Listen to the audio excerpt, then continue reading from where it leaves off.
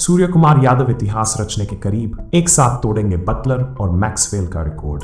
तीनों दिग्गजों में सबसे महान कप्तान कौन? बुमराह ने कोहली, रोहित और धोनी तीनों को किया है खारिज। आखिर क्यों आइए आपको आगे बताते हैं? भारत और श्रीलंका के बीच टी सीरीज़ का पहला मैच 27 जुलाई को, यानी आज खेला जाएगा। ऐसे में टीम इंडिया नए कोच और नए कप्तान के साथ मैदान पर उतरने वाली है। वहीं कोच गंभीर के रहते भारतीय टीम पहला मैच खेलने वाली है।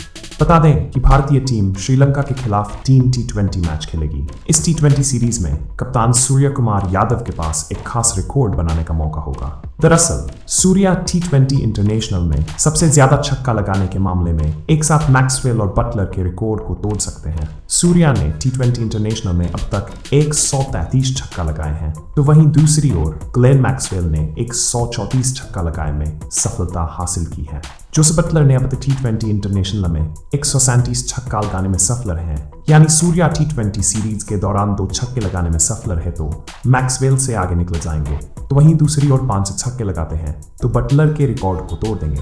आइए, अब आपको भारत और श्रीलंका का पूरा शेड्यूल बताते हैं। सत्ताईस जुलाई पहला टी ट्वेंटी सात पी एम अट्ठाईस जुलाई दूसरा T twenty seven P M तीस जुलाई तीसरा टी ट्वेंटी पी एम